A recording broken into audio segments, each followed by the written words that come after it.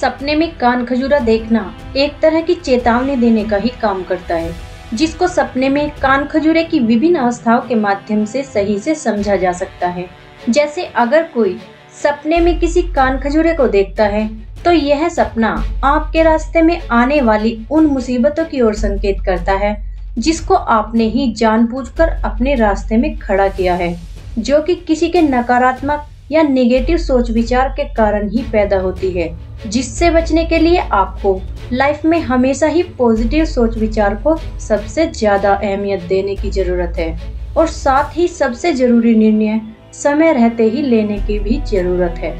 और अगर कोई सपने में कान खजूरे को काटते या डंक मारते हुए देखता है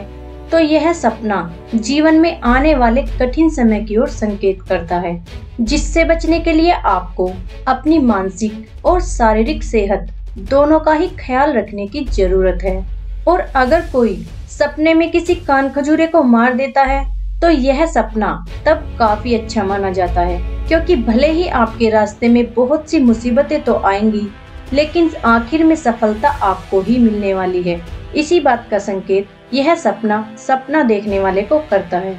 और अगर कोई सपने में किसी कान खजूरे को अपने ऊपर रेंगते हुए या ज़मीन पर रेंगते हुए देखता है